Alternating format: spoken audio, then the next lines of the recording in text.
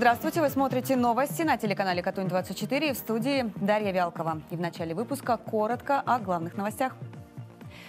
Жители села Баюновские ключи в Первомайском районе остались без крыши над головой. Причем ремонт конструкции в их доме начался еще месяц назад. В ситуации разбиралась наша съемочная группа.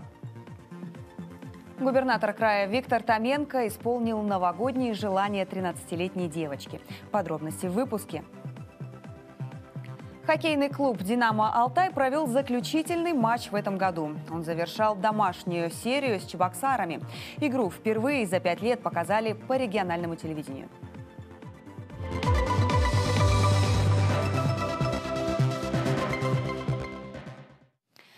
Бывшим работникам частного детского сада «Хэппи Бэби» вынесли приговор по уголовному делу. Напомню, их обвиняли в систематическом применении насилия к детям.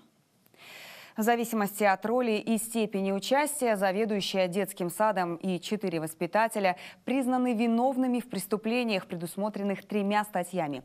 Оказание услуг, не отвечающих требованиям безопасности, неисполнение обязанностей по воспитанию несовершеннолетних и истязания. Добавлю, следствием установлено, что в 2017-2018 годах сотрудники частного детского сада применяли насилие в отношении 15 воспитанников в возрасте от 2 до 7 лет лет. Их толкали, били руками, различными предметами и закрывали одних в темных комнатах. В ходе следствия были изъяты записи с камер видеонаблюдения и установлены десятки подобных эпизодов. Суд назначил бывший заведующий наказание в виде четырех лет лишения свободы условно. Кроме того, она лишена права заниматься педагогической деятельностью три года.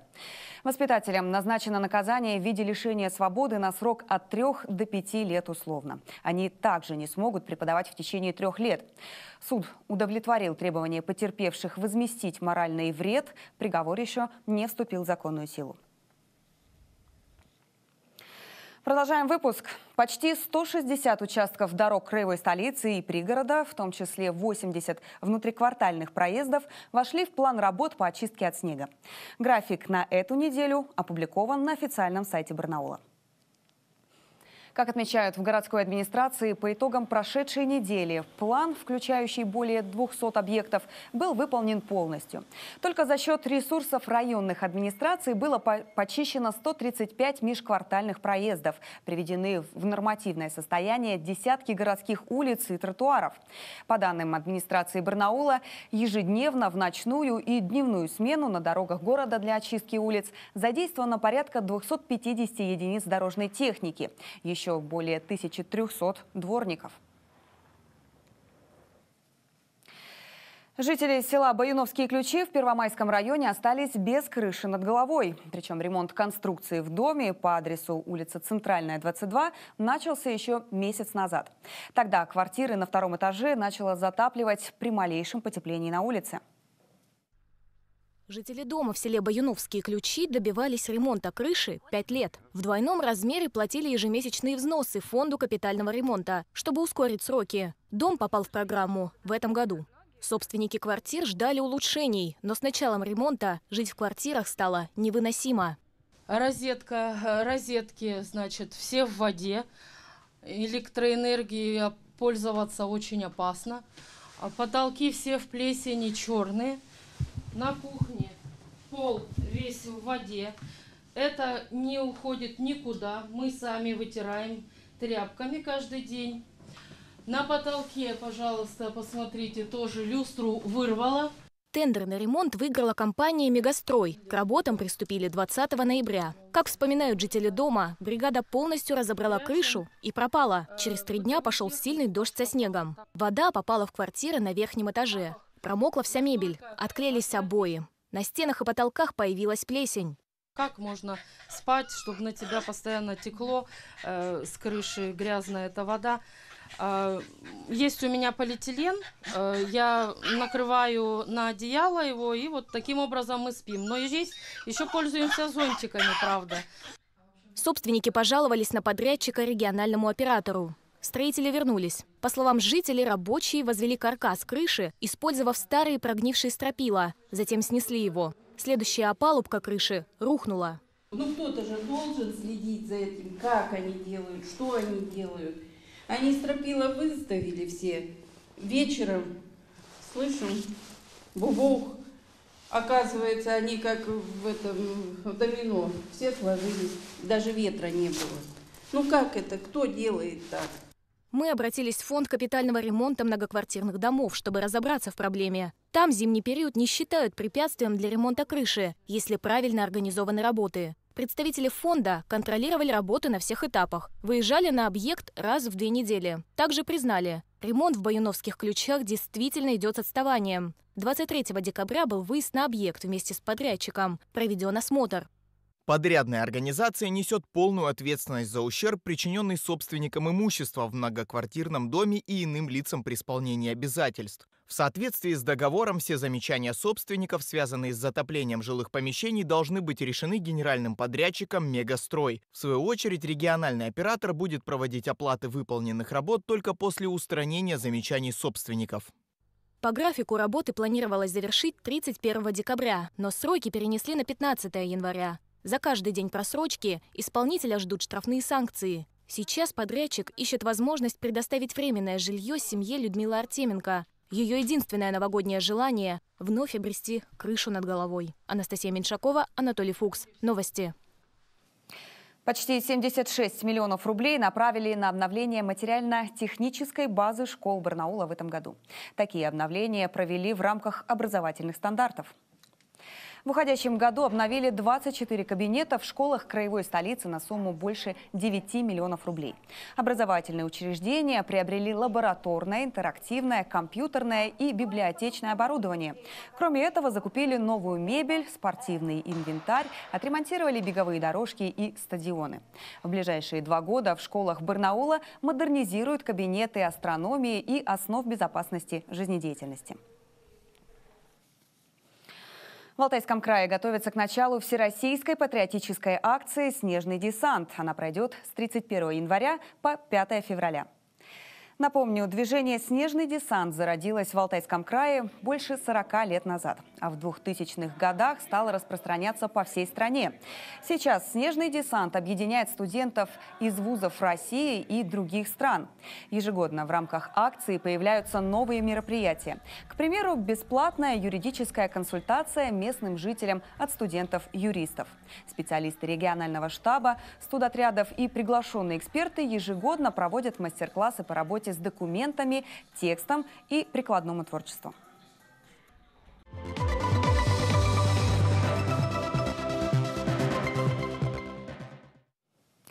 Губернатор края Виктор Томенко исполнил новогодние желания 13-летней девочки. Встреча с юной жительницей Барнаула Марией Сауниной прошла в Государственной филармонии. Так, Маша, ну я, во-первых, тебя поздравляю с наступающим Новым годом. Спасибо. Знаю, что ты так написала э, желание на елку желаний, да. И так получилось, что я его вытащил, твое пожелание. Да. Вот поэтому я сегодня пришел для того, чтобы тебе его исполнить. А попросила ты колонку. Да. Портативную такую. Вот, я ее тебе сегодня принес и тебе ее вручаю. Вот поэтому ты держи. Держи. Она здесь такая в коробочке, ее надо разбирать. Во всех начинаниях Марию поддерживают опекуны Лариса и Валерий Захаровы. Девочка не видит с рождения, но это не мешает ей играть на фортепиано и писать стихи. На встрече с губернатором она прочитала наизусть произведение Елизаветы Лис «Мы видим мир по-иному». Мы видим глубину, не оболочку, и свойством этим только и всего от зрячих отличаемся немножко. Как говорят, если глаза закрыть, то лучше ощущаешь все вокруг. Губернатор также исполнил второе желание Марии. Она мечтала сыграть на настоящем концертном рояле. Инструмент предоставила Краевая государственная филармония. Девочка исполнила прелюдию и фугу до мажоры Иоганна Себастьяна Баха и тарантеллу Сергея Прокофьева.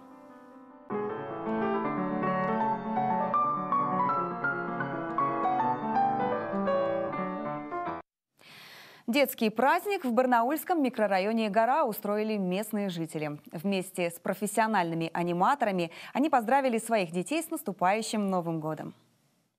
Мы решили небольшой сценарий еще от себя организовать. Ну и получается, хорошие добрые люди подтянулись и начали нам помогать. Десять инициативных жителей улицы Аванесова подготовили конкурсы и подарки. Евгений Корчуганов исполнил детские песни, а местные предприниматели принесли угощение. Хоккейный клуб «Динамо Алтай» провел заключительный матч в этом году. Он завершал домашнюю серию с Чебоксарами. Игру впервые за пять лет показали по региональному телевидению на телеканале «Катунь-24». Удачным ли было возвращение хоккея на большие экраны, расскажет Артем Тарасов. Последний раз матчи барнаульской хоккейной команды показывали по региональному телевидению больше пяти лет назад. Сейчас трансляции игр вернулись на большие экраны. В начале ноября из-за эпид-ограничений спортсмены остались без зрителей. И пусть сейчас трибуны могут быть заполнены до 500 человек, решение показать игры по всему краю все равно осталось актуальным. К тому же технически такая возможность есть. У «Динамо» есть своя съемочная группа в общем-то, они формируют картинку, которую мы забираем у них с помощью своего оборудования, отдаем ее в ЦАП, и, в общем-то, наша центральная аппаратная раздает уже картинку по краю, по региону. К слову, это первая телевизионная трансляция матча «Динамо Алтай». Дебют однозначно успешный. Барнаульцы переиграли Чебоксары со счетом 8-0. Этот предновогодний подарок порадовал болельщиков и расстроил соперников конечно, какие-то наши недоработки тренерского штаба, значит, но плюс у нас травмированных ребят 6 человек. То есть крайне неудачная дальняя поездка и крайне неудачно сложилась серия для нас. Начиная с первого матча и заканчивая вот этим последним, значит. Динамовцы выиграли все четыре матча серии, в каждом из них счет был разгромным. Сейчас барнаульцы возглавляют турнирную таблицу, при этом у них еще четыре игры в запасе. Однако главный тренер Владислав Хромых даже после успешного матча не дает повода расслабиться. Ну, удачно для нас серия сложилась, но я считаю, что не надо обольщаться. Все это такие э, промежуточные э, этапы, потому что готовимся к играм на вылет. Там немножко будет другая психология.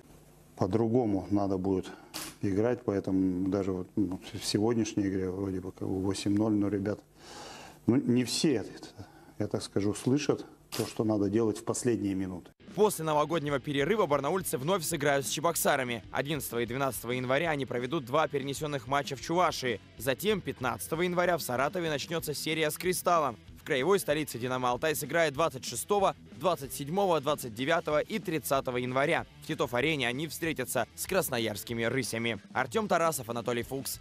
Новости. Алтайский конькобежец Виктор Муштаков поедет на Олимпийские игры в Пекин. Место в сборной он получил по итогам этапов Кубка мира. Напомню, на последних стартах сезона Муштаков завоевал серебро и бронзу. Полный состав стайеров сформируют после всероссийских соревнований, которые закончатся сегодня. Также из алтайских спортсменов на Олимпиаду могут поехать биатлонист Даниил Серохвостов и лыжница Яна Кирпиченко. Игры в Китае начнутся 4 февраля. Новогодний показ четвероногих моделей прошел в Барнауле. После него любой желающий мог сфотографироваться с маленькими моделями. Каждая из них знает несколько команд, а некоторые даже умеют улыбаться. Благотворительному проекту «Дефиле с собачкой» уже три года. Многие животные имеют сертификаты терапевтов. Они помогают реабилитироваться детям с синдромом аутизм. На показах выступают тибетский мастиф, стафаширские терьеры, западносибирские лайки, спаниель и беспородные собаки.